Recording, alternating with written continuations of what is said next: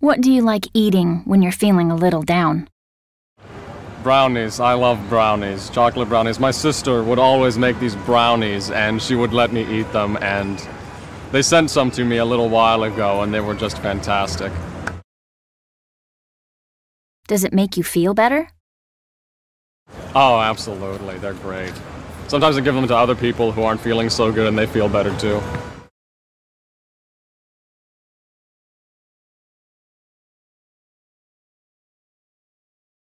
How often do you eat out?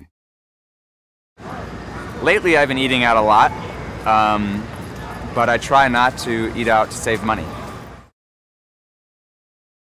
What kind of places do you go to? I like any kind of Asian food, and steak is good, but it's kind of expensive.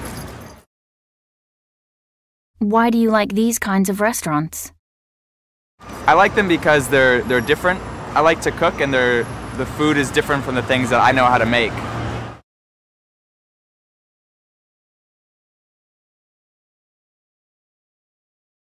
Do you have brothers and sisters? I do. I have one younger brother, and he's 16 years old.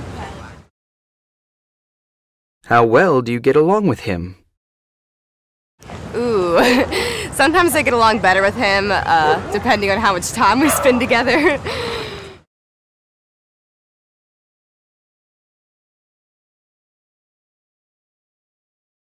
Are you a spender or a saver? I'm a very big spender.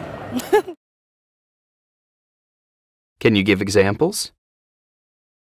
Uh, bags.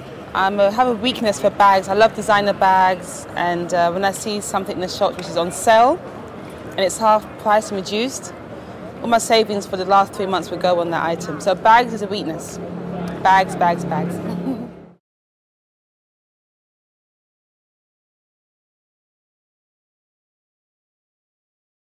Have you ever taken part in a charity event?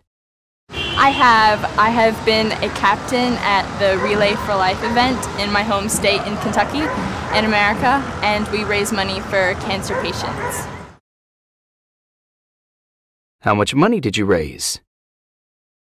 I have raised $15,000 in total.